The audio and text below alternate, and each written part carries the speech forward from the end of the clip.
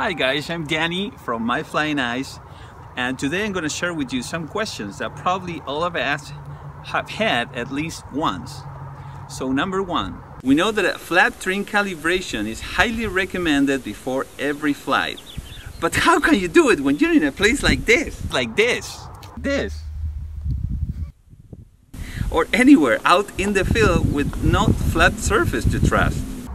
So number two, how can we always have a clean takeoff without the propellers getting all the dust, sand or debris up in the air and probably into the motors or the sensors that can cause a failure or future problems. Number three, how can we always have a smooth landing when some drones, like the one I use, do not have a smooth landing, in fact, drops from one to two feet straight into hard hitting the ground, well, this over and over, landing after landing, would untie the screws a little bit, which leads to video problems like shaky image or that awful jello effect that we all hate.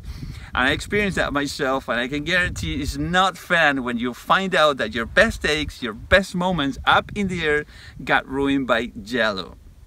Ugh, disgusting.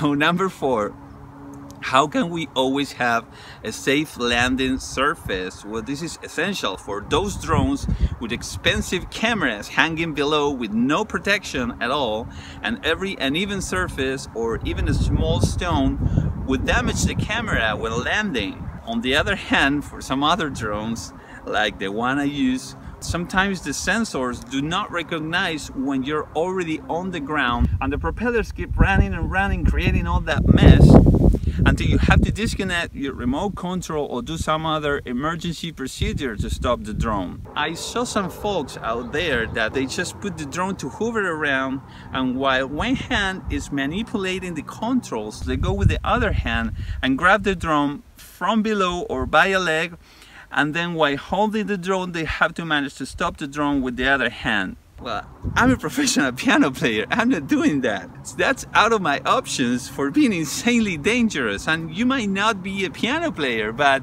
I'm pretty sure that you value your hands with every finger as much as I do. Just think of it. A small mistake or a sudden wind would end up in total disaster. And you might say, well, I've done this like a hundred times and nothing happened. Uh, just remember, it takes once for a lifetime regret. And this is funny. Uh, one of the drone gurus that I respect and I follow the most, he said, well, I do this, but don't do it because it's very dangerous. That doesn't make any sense. It is dangerous. Don't do it either. so come with me and I share with you one simple solution that gets to all of these problems and probably many more all at once.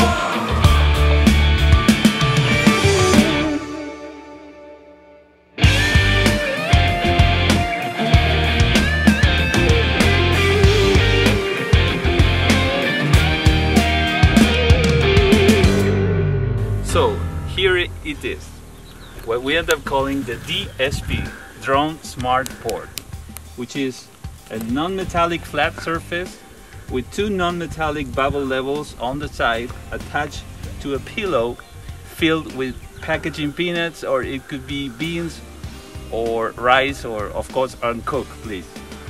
So this is how it works. I like this spot for being my takeoff because it's a safe return to home route for when I'm gonna be operating. So we just, um, it doesn't matter that this, this surface anymore. So we just put the DSP here, we adapt it with the bubble levels until it's perfectly flat, which I kinda already did. So then we just put the drone flat trim calibration and ready to take off and have fun. Voila!